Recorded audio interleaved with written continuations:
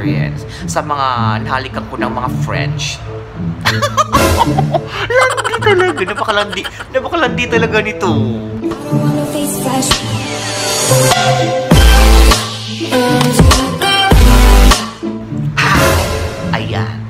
Hello, hello mga kasayat. Tayo na naman ay nagbabalik sa panibagong video vlog. Ayan, so if you are new on this channel, please don't forget to subscribe. Click the notification bell para ma-update ka sa aking every uploads. Ayan, so mga kasayat, ayan. So, meron ako mga previous vlogs about paano malalaman ang babae pag virgin, ba? So, meron siyang part 1 at saka part 2 yung video ko na yon. Ayan, so for this time, ang gagawin ko naman is paano natin malalaman pag ang lalaki ay virgin. Oh, napaka-excited, no? Napaka-excited talaga pag paano nga ba natin malalaman, no? Ayan, te, I am sure, te, no, you are very excited, no? Hindi. Ayan, so, alam kong excited ka na kung paano nga ba malalaman. Ayan. Okay? Ayan. So, by the way, this vlog is a science vlog. Science vlog ito mga kasayat ah. This one is wala siyang halong kalandian, walang halong um, kapastusan. Ano? Ito ay pure science po lamang. Wow! Alam na natin na naman pag science ang pinag-uusapan, diba? Ayan, so wag na tayo magpatumbik-tumpik pa mga kasayat. So, simulan na natin sa number one. Ayan, so ang number one natin is blood. Ayan. So, hindi lang naman na ang babae, 'di ba? Hindi lang naman babae ang nagkakaroon ng blood. And also lalaki pag virgin. Kasi hindi pa siya sanay, alam mo, hindi pa siya sanay mag in in out, alam mo yung ganon. So, merong dugo, magkakaroon ng dugo yung manoy ni kuya. May dugo yun. Pero, uulitin ko, hindi ganun ka-obvious na parang sa babae na pag virgin, talagang duduguin talaga yung bed. Magkaka-stain pa yung dugo sa bed, di ba? Sa bedsheet. What I mean, di ba? Pero sa lalaki, meron din yan sa foreskin ng manoy. Gets mo? Ayan. Para sure ka na sure ka na makita mo yung dugo. Or para pag talagang desidido ka talagang maki- gusto mo makita yung dugo pag virgin si kuya. Magdala ka ng magnifying glass. I-magnifying glass mo yung mano ni kuya ganyan. May dugo kaya dito? May dugo kaya? Kanya.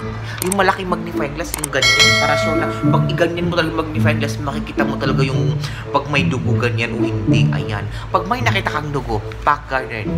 Sure, virgin pa yan. Virgin pa yan si kuya. Pak, swerte mo, te. Ayan. number, number one pa lang ito, ha. Ayan, sumove on na tayo sa number 2. Ang number 2 natin is clueless. Ayan. So, bakit nga ba clueless? Siyempre, pag first time ng tao, hindi niya alam kung anong gagawin niya, diba? So, parang ano ba ang gagawin niya? Ano ba ang ang first na hawakan niya?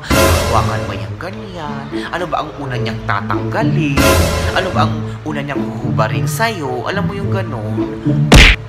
It means, pag clueless si kuya, virgin pa yan. Wow! Swerte mo. Virgin pa yan si kuya. Ayan. So, moving na tayo sa number 3. Ang number 3 natin is kissing. 'Di ba? Bakit kissing? Siyempre, alam mo ba yung French kiss na sinasabi? 'Di ba? Yung, 'di ba pag French kiss kasi according sa aking experience, sa mga nahalikan ko ng mga French, landi talaga. Napakalandi. Napakalandi talaga nito. Sa mga nahalikan kong French. Talagang French kiss. Talagang iikot talaga yung ah, ah, ah, ah, ah, ah. Mga ganyan, alam mo yung may tongue movement. Kantin sinasabi in English. May tongue movement talaga. Pag si kuya, marunong siya mag-tongue movement. It means, hindi na siya virgin. Pero pag si kuya, hindi niya alam kung paano humalik, diba? It means, Mak, napakaswerte mo, te. Swerte mo, te. Virgin pa ang nabingwit mo, te. Mm. Naintindihan mo ba? Ayan. Pag hindi marunong mag-French kasi kuya, it means virgin pa ang kanyang lips. O, baka doon, swerte mo. Mm. Number 4 na tayo agad. Bilisan na natin. Shy type. Ayan. So, number 4 natin is shy type, syempre. Pag virgin naman talaga yung lalaki, syempre, mahiyain siya. ba? mayayain siya sa mga babae. Diba? Pag shy type talaga. Hmm, ganun. Pag mayayain siya sa mga babae, hmm, pak ganun. May tendency, virgin pa si kuya. Ayan. So, moving on na agad sa number 5. So, ang number 5 natin is nervyoso. O, ba? Nervyoso. Lahat naman tayo siguro nini-nervyos pag first time natin gagawin, di ba? Kasi hindi tayo marunong. Pag mak- at saka makikita mo naman sa facial expression ng tao pag nininervyos siya, di ba? Yung parang uh, pinagpapawisan siya, ganyan. Di ba ganun naman talaga pag ninervyos ang isang tao? Pag nakikita mong nervyoso si kuya sa inyong first na, first one night stand, mm, naku, napakalandi nitong ten na to. Swerte mo na naman. Virgin na naman ang nabingwit mo. Wow! Napakaswerte mo talaga, no? Lahat na lang mga virgin talagang nabibingwit mo, te. Landi ka, landi ka ang landi, landi, landi, landi mo, ha? Mm. Ayan, so moving on tayo sa number 6. Luha mata. Ayan. So yung mata ni kuya, luluwang ganyan. Bakit nga maluluwa yung mata? Siyempre, virgin pa si kuya at hindi pa siya nakakakita ng ganyang very sexy na katawan. Diba? Yung very... Di ba ikaw naman, siyempre very confident ka sa sarili mo. Mukha ka kaagad. Mukha ka kaagad. Siyempre, gusto mo, direct to the point. Lani talaga, direct to the point agad. Siyempre, virgin nga si kuya. So, siyempre, luluwa yung matang ganyan. Ay, ganyan pala ang itsura ng ano, ng tilapia. Bakit ganyan? Mabuhok. Mabuhok talaga. Nakaba-joke lang. Ganun talaga, luluwa talaga yung mata ni kuya pag, pag hindi pa siya nakakakita ng mga ganyang mga mm, mga "Eh, eh, eh." hindi ko bet. Mga ganyan, ano? Mga ganyan. Mm, gets mo? Mm, moving on natin sa number 7. Ayan, ang number 7 natin is tease. Or ano ba kayong English, Tagalog ng tease? Um, ako, Diyos ko, nakalimutan ko ng Tagalog ng Tagalog ng tease. Uh, ano ba yan? Ano yung Tagalog ng tease? Nakalimutan ko. I forgot. Um, ano ba yung Tagalog ng tease? Um, oh, di- basta ganun, tease. Itis mo si kuya. Ayan, syempre, pag nag-uuyan, pag itis mo na, kuya, do you want a lollipop? Mmm! Pag sila mong ganyan at at sabi niya, oo, mm, wale, hindi siya virgin. Pag sinabi niya, what do you mean? Ay, wow! Pak, ganun. Virgin pa yan. Hindi niya naintindihan yun. Mm, kasi English. Hindi naman. Pero 'di ba pag virgin talaga, pag tinis mo yan at first, hindi niya alam. At saka pag sabihin mo, Kuya, do you want one night stand? 'Di ba ikaw nga, direct the point ang gusto mo eh. Siyempre yung lalaki, pag hindi siya virgin, I, I mean pag virgin siya, sabi niya, no, of course not, of course not, of course not. Di ba? Siyempre, sabi niya talagang of course not kasi hindi nga siya marunong. Mo? Oh no! Oh, ganun. Pag sabi niya of course not, nako, te, may tendency, virgin pa yan, nako, pilitin mo, te, pilitin mo. Mm. Swerte mo talaga, ano, lahat na lang mga virgin talaga nakukuha mo. Wow! Hmm, ayan. Sumubok na tayo sa number 8. So, ang number 8 natin is mabilis. Ano mo man ang mabilis nito? Siyempre, mabilis. Malabasan. ba? Mabilis malabasan si kuya. O, bakit mabilis malabasan? Siyempre, mabilis siyang malabasan kasi virgin nga. Gets mo? Virgin nga. Oh, 'di ba? Virgin talaga 'yun. Kasi nga hindi nga niya alam paano i-control para hindi siya malabasan agad. Kasi pwede naman talaga yung i-control, 'di ba? Kaya yung mga ibang uh, mga lalaki, matagal, 'di ba? Matagal silang malabasan. Si, si syempre, expert na sila. Alam nila yung paano i-control para hindi malabasan agad. Kasi pag nalabasan agad si Kuya Wale, ganun na. Matutulog na kayo.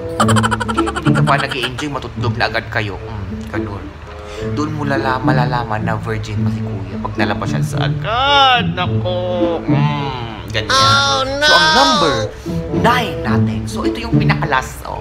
Ang pinakalas natin, syempre, is, syempre, pag tanungin mo siyang, virgin ka ba? Pag sinabi, pag sinabi niyang no, syempre, hindi na siya virgin. Pag sinabi niyang yes, I'm still a virgin. Back ganun. Virgin yan, virgin. Pag hindi ka kontento, ano, pag yung 8 na sinabi ko is, meron siya noon. Oh, back ganun. Virgin yan. Virgin one. Yan. 100%.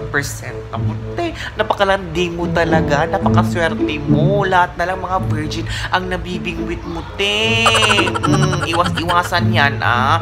And don't forget to use condom. Ah, oh, ikaw, te. ah, Masyado kang malandi. Mm, ayan. So, ayan. So, uuli, uulitin ko mga kasayot yung mga nine. Ayan, para para ma-recall nyo, i-recall natin. So, ang number one natin is, diba? Number one natin is blood. So, blood. So, merong magkakaroon ng blood yung penis ni Kuya, yung manoy ni Kuya pag first time niya. Ayan. Ang number two natin is clueless. Ayan, so magiging clueless si Kuya. Hindi niya alam yung kanyang ginagawa or ano yung gagawin niyang first step, mga ganoon. Hindi niya alam yung ulang uhubarin niya sa'yo, yung panty ba, yung bra. Landi. Number three, kissing. So, hindi siya marunong mag-French kiss. Ayan. Kung hindi siya marunong mag-French kiss, pak, virgin yan. Number four, syempre, shy type, mahiyain. Pag mahiyain si kuya, nakuti, virgin yan. Number five, nervyoso. Siyempre, makikita mo nga ulitin ko, makikita mo naman yung tao pag nervyoso, di ba? Pag pinagpapawisan siya, naku, Diyos mio, may tendency, virgin yan si kuya. Lande-lande, siyerte mo, te. Number six, luwa mata. Siyempre, luluwa talaga yung mata niya kasi hindi nga siya nakakakita ng ganyan. So, it means virgin pa yan. Hmm, swerte mo na naman. Number 7 is, ayan, isititis mo si kuya. Hindi ko pa naisip yung Tagalog ng tis. Ah, alam ko na. Akit. Aakitin mo si kuya. Ayan. Pag inakit mo yan, at sinabi mong, Kuya, do you want a wine that's one night stand? Pag sinabi niyang, oo, mm, hindi na siya virgin. Pag sinabi niyang, hindi, naku, may tendency, virgin ulit yan. Ayan. 8. Ayan. So, ang number 8 natin is mabilis malabasan si kuya or mabilis. Fast. Ganun, di ba? Pag mabilis malabasan yan, naku, virgin yan sigurado. Virgin. Mga siguro mga 30 seconds, ganun, nalabasan na yan. Naku, pack virgin yan si kuya. Virgin. Sinayang mo lang ang oras mo. Kailangan mo ulit maghintay ng uh, ilang minutes para for the second time around. Landi! Kailangan mo talaga ng second round. Ayan. Number 9 natin. Ayan, so ito yun yung pinakalas. Ang number 9 natin is tanungin mo siya, di ba? Tatanungin mo siya pag virgin ba siya o hindi. Pag sinabi niyang, yes, of course, virgin pa siya, di ba? Pag sinabi niyang no, well, hindi siya virgin. Ayan. So, ayun mga kasayat, meron kayong natutunan sa ating vlog na ito. Ayan, so, mabilis ang vlog lang ito, no? Because I have to update my vlog, syempre. Kung anong mga content na naisip ko, kailangan ko talagang gawin agad. Kasi pag dinilay ko siya, naku, wala na. Magdi-disappear. Ayan. So, I hope guys, uh, nag-enjoy kayo sa kapanood nito at meron kayong aral, no, na napulot sa ating science vlog. So, pag nagustuhan nyo itong video na to, please don't forget to share, like, and comment down below. Diba? Kung meron akong nakaligtaan, i-comment down below nyo para ano, uh, gagawa tayo ng um, part 2. Part 2 ng ano, paano malalaman pag ang lalaki ay virgin. Mm, ayan. So, of course, please don't forget to subscribe on my channel para ma-update kayo sa aking every upload. Ayan guys, so thank you, thank you mga kasayat for watching and see you on my next vlog. Mm.